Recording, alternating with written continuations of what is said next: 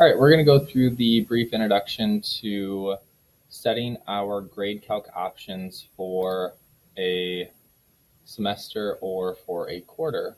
Um, so first thing we're going to do is we are going to, I'm going to sign in, um, let's say that I am Mr. Wenzel. So what I'm going to do is once I get in as Mr. Wenzel, what I'm going to do is I'm going to go to my gradebook.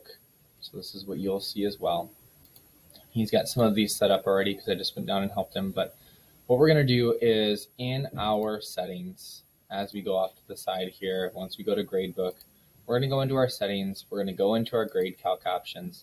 In any class, so right now I'm in sixth grade math uh, for Blue 1, any class that I want to set my grade calc options for a semester test or exam, I'm going to go in and put these details in here.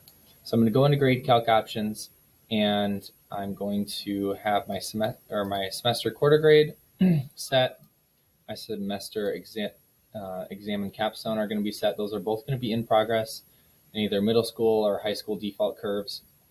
And then the semester grade down here is going to be calculated by clicking this composite box. So we see these composite box here. Once I click this composite box, it's going to give me this um, child task slash, slash standard.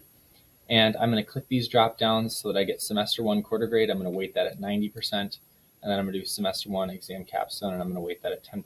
And that's all being calculated under the semester grade here. And then I'm going to click save. So all I have to do is I have to go into whatever class I want. So let's say, um, let's say Mr. Wenzel, I don't know if he's got any high school classes. No. Okay. So we'll go into middle school. Let's say seventh grade. If I go into grade calc options, I'm going to click this. It's going to give me that child task standard. I click quarter grade, weighted at 90%, add exam capstone at 10% and click save.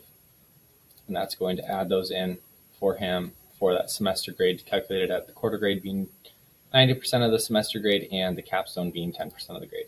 Now, if that changes moving forward um, for percentages or however we weight it differently, um, that can change moving forward. But for this semester, that is going to be how it is done.